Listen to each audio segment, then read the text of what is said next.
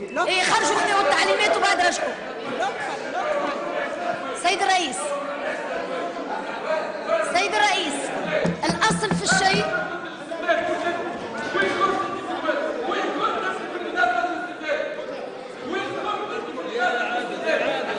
لطفا لطفا لطفا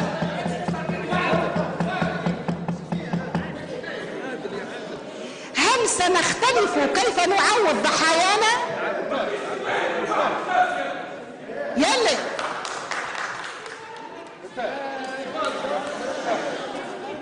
يا سيد الرئيس إحنا الفيصل في انه هذا الصندوق يحدث بموجب قانون المالية أو بموجب قانون الرجاء شوي هدوء. استنى يا سيدتي استني من فضلك. من فضلكم أرجو أن يعود الهدوء. شكرا السادة النواب اللي ساهموا في إرجاع الهدوء. راهو الإنسان ما لازموش يخلي روحه. يتم استفزازه بالطريقة هذه ولا يغضب. فكل واحد عنده الحق يتكلم ونرد على بعضنا بالكلمة وليس لكن ليس بالغضب. أرجوكم. نصبر شوي مع بعضنا. بسم الله الرحمن الرحيم. للأسف سيدة الرئيسة اليوم بعد منتصف الليل مساش مساش إيه بعد ماضي ساعة إيه. إيه بعد ماضي ساعة سامحوا إيه يتحول هذا المجلس إلى غنيمة وتتحول ميزانية الدولة التونسية إلى غنيمة يستعد من يستعد للخروج للحكم لأن يغنم منها أكثر ما يمكن قبل أن يغادر صفوف الحكم. وهذا هذا عار على من يمارسه لأنه ما هكذا تمارس الديمقراطية؟ ولو كان هذا موقفا صحيحا لكانت هذه التعديلات وزعت على النواب ونشرت على الملأ لا أن تقدم. في آخر لحظة لاغتنام ما يمكن اغتنامه من هذه الكعكة اللي اسمها ميزانية الدولة التونسية.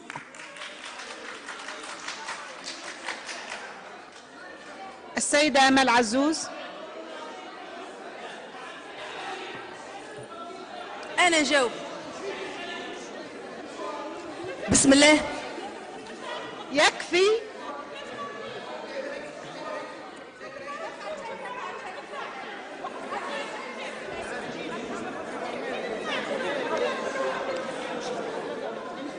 أرجو من الجميع الهدوء. أرجو من الجميع الهدوء.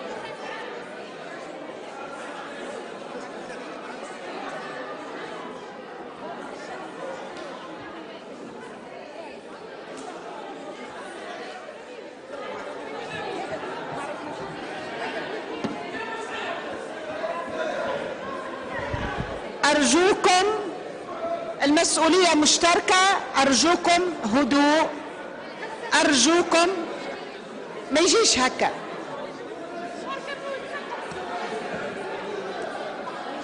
تفضل سي بشير أنا ماذا بينا كان نهدئوا يا بشير مش باش نزيدوا هدوء. السيد بشير النبزي بالله يا زملاء أرجوكم. سيد الرئيس